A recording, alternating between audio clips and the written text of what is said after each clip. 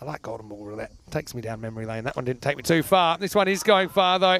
Lifted up and over. Kumar goes Maximo. And the Kings flying high through this power play. Starting some T20s on Friday and then the ECS on Monday right now. This is flicked away. And yeah, pretty poor delivery really, but still you've got to put it away. Oh, this is another one that looks like it might go away to the boundary rope. It's going to take a few bounces and trickle over the rope. Oh, this is hit straight towards long off. An incredible hit by Kumar. Strong, strong response. And this is another great over for the Napa Kings. 21 runs coming off it. Oh, he's straying onto the pads and it goes away for four. Really struggle with their lines. They really have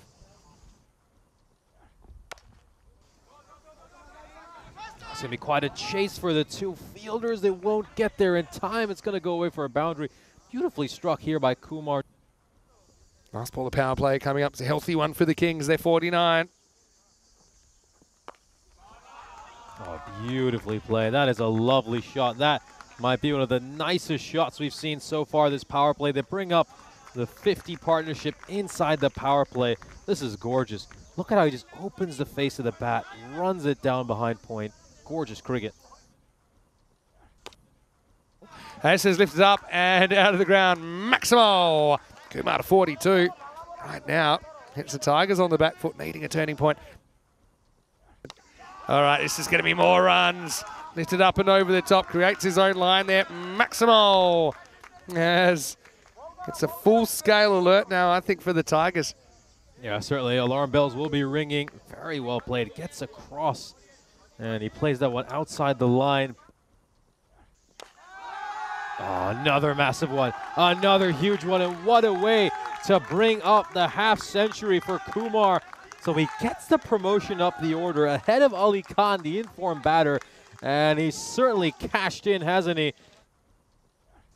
The Napa Kings have put on a great opening stand over here as well. A massive six towards long on for Kumar. And the umpire will once again raise his arms as that goes all the way.